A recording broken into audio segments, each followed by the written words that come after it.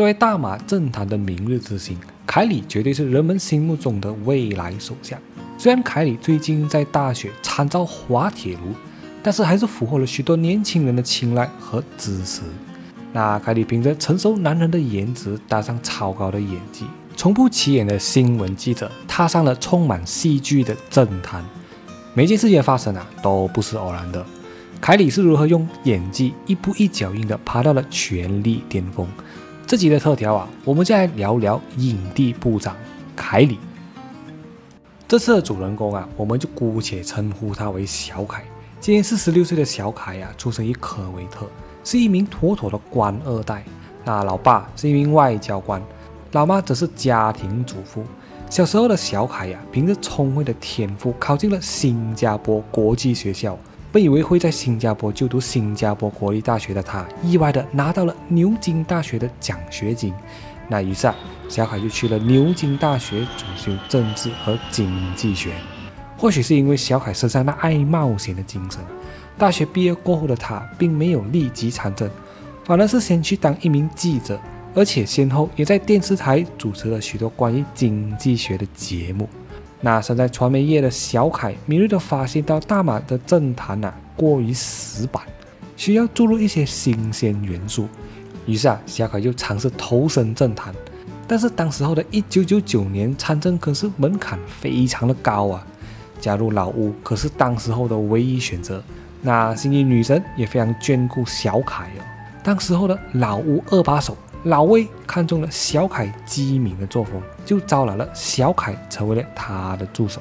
那小凯也非常的醒目，知道这是进入仕途的大好机会，于是啊就和老魏提亲，要娶老魏的女儿。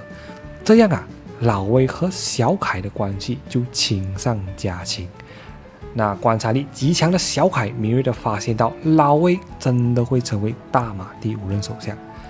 事实也证明，小凯的眼光也非常的独到，老魏还真的成为了大马第五任首相。有了岳父那么大的靠山，小凯的仕途还过得顺风顺水。那老魏把小凯安排在首相办公室的四楼做特别助理。小凯也心领神会的，就组织了一帮智囊团，帮助小凯的岳父出谋划策。不过此举就引起了老屋内部的老东西、老马的不满，认为小凯年纪小，不懂装懂，影响了老魏的判断，甚至认为小凯会威胁到老马的尊严，因此啊，就想尽办法打压小凯。那时候的小凯有岳父撑腰，所以老马的马仔。也对付不了小凯呀，只不过人算不如天算，小凯的好日子啊，也随着二零零八年的全国大选走到了尽头啊。小凯就在二零一八年的大选，靠着岳父的光环赢得了国会议员的入门票，所以老威还是赢了大选，但是三分之二的国会优势啊，却已经没有了，还夹带送走了五个州政权啊。那老瓦听到了，直接气炸，就立即动用手下的马仔，把老威给赶下台。那老威也知道自己的失误，丢失了国会优势，也只能黯然下台。那小凯呀，也因此失去了靠山。不过小凯平时的人缘还不错嘛，所以就胆粗粗的竞选了老屋青年团的团长。哎，还真的选上了，虽然获取了意想不到的胜利。不过小凯不甘只是当个青年团的团长，那作为前新闻从业者的小凯开始发挥了堪称影帝级的表演。小凯意识到啊，只要出位，说出来的话一定要语惊四座，像极了现在 YouTube 为了博眼球专门炮制绯闻。本来形象温和和开明的小凯，瞬间变得泼辣。言行出位的他，只要能得罪人，肯定要得罪一番。老布内务的粉丝也非常欣赏小凯的演讲，好像打了鸡血那样，天天早上起床，那很自然的也得到了许多底层党员的支持。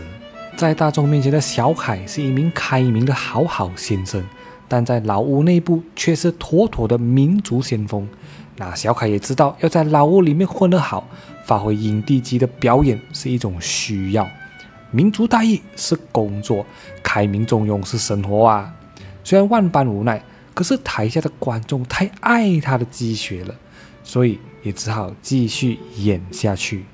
晃眼间来到了二零一三年的全国大选，当时候的首相，我们怀念的吉吉，为了挽回民众对他的信任啊，那小凯也就临危受命的成为了吉吉的团队一份子，成为了青年以及体育部的部长。那本来吉吉的形象还有所挽回，只可惜吉吉太作死，居然相信老刘的鬼话，一码丑闻就让吉吉的形象大跌。小凯就是那位陪葬的牺牲品。吉吉和小凯在二零一八年的大选，因为反封，双双失去了大马中央政权，沦为了在野党。本来就不懂当反对党的小凯很慌张，到处询问别人如何当好反对党。那正当大家以为改朝换代的小凯会选择淡出政坛，但是小凯却做出了让大家意想不到的事情啊！或许是对这岳父的知遇之恩啊，下野的小凯并没有离开老屋，而是打着岳父的旗帜竞选老屋的老大。那小凯也知道又是发挥演技的时候了。小凯傻泪又雄心壮志的说要改变老屋，不过这次小凯的粉丝并没有那么卖力的支持他，毕竟排队当老大的人还很多，而且许多昔日的老粉丝也已经开始上岸了。所以小凯也就落选了。小凯也知道自己的演技已经过时了，所以就好好待在家里钻研演技。那时间一晃啊，就到了二零二零年，由老丁和小敏发动的喜来登政变啊。那小凯获得了老丁的重用，被委任为科研部长。幸运女神也为小凯匹配到了最佳同事，不懂卫生的卫生部长老汉汉。那我们的老汉汉智商一直在线，堪称最佳助攻，让小凯有很好的发挥空间。小凯也很好捉住机会，让人们看到他存在的需要。那二零二一年的大马正面临着因为疫情的大封锁，搞到民怨四起。我们的老汉汉正在忙着和五百个国家领导人开会，那小凯也临危受命地指挥着疫苗接种的工作。大马能享有高疫苗接种率，也是小凯的指挥和调度得当。那专业的作风啊，加上高度的配合啊，许多民众也认为小凯应该成为卫生部长。那民众也要求老丁委任小凯为卫生部长，可惜老丁撑不过老扎，换了老毕当首相。那老兵也顺从民意，委任了小凯当卫生部长，深招牌马。你懂的，那小凯也知道得到民众的支持还不够，年轻人才是关键。近年来，政府已经推行了十八岁自动成为选民，那一波新鲜热辣的选民成为了小凯的拉票对象。那小凯就找来了许多网红艺人为他录制新年贺词、开斋节祝福，苦学中文，得空还撸猫，这般演技堪称奥斯卡。小凯爱学习中文吗？对他来说啊是一种需要。台下的观众一片欢呼，还有观众认定小凯就是他们的下一任首相，效果达到了，名声直冲天花板。不过老扎似乎并不是很满意这个生招牌，认为小凯以后会成为他任相的绊脚石，就想办法让他穿小鞋。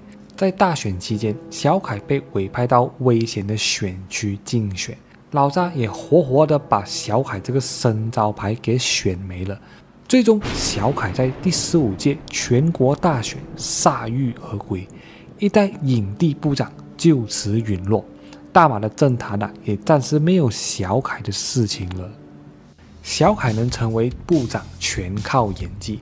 其中最大的原因还是懂得投其所好。作为以马来民粹主义上台的老挝，当年也是通过鼓动马来群众反抗英殖民政府。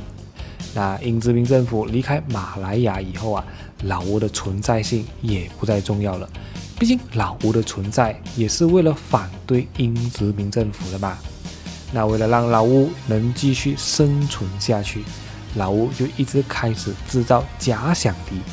那先是有很倒霉的老李和马共，后来华文教育成为了老吴的攻击箭靶。